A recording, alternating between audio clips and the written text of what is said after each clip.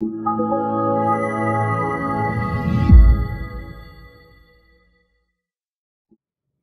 guys, it's Michael here from Happy English. Hey, thank you everybody who has subscribed to the Happy English YouTube channel. How about you? Have you subscribed yet?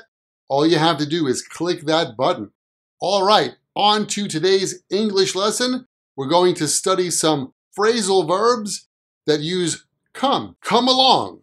Why don't you come along? Come along means to join someone or join a group of people that are going somewhere. Hey, after work, we're going to the pub. Why don't you come along? Yeah, everyone's going to the pub after work. Why don't you come along? Yeah, we're all going to the pub. Why don't you come along? Listen, after work, everyone's going to the pub. Why don't you come along? Come by means to visit. Listen, I'm going to be in the neighborhood tomorrow. What time can I come by? Do you mind if I come by tomorrow? I think I'm going to come by around 5 o'clock come down on.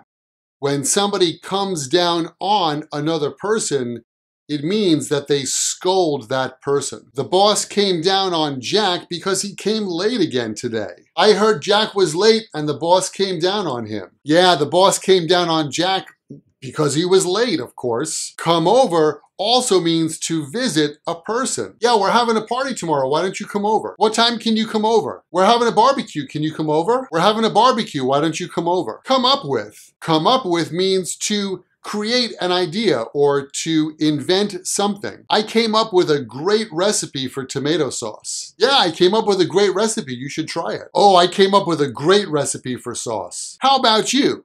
What have you come up with recently?